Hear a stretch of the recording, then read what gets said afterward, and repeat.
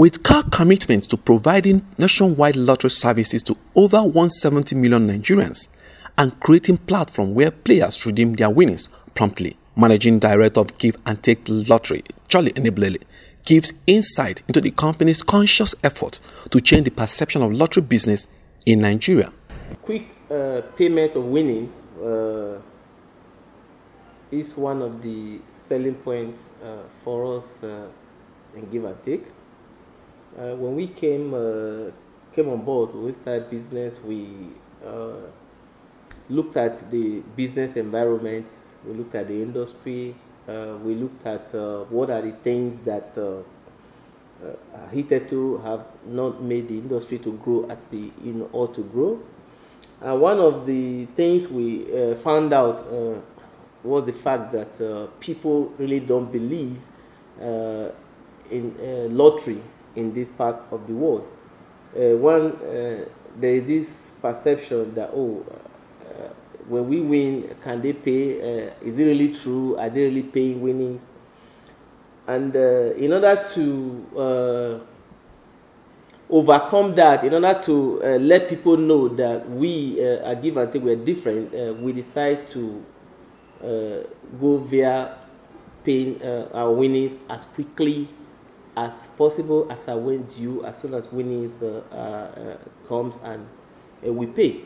Just as Give and Take plans to take lottery services to the greatest level of trust and acceptability among Nigerians, the managing director, Mr. Eneblele, speaks more on this lofty business decision. Sometimes the winning comes, you know, is uh, some of them almost heartbreaking, but we are happy that people are winning because this business is all about playing and winning. I mean, when people don't win, there is no other way you can explain to them that what you're doing is real. So every day we see winnings, and we, you know, we're happy the winnings are coming because our business, you know, is growing. So I think uh, we've been impressed so far uh, about the winnings, uh, and we've been paying the winning as we speak. I mean, go to our social media handles.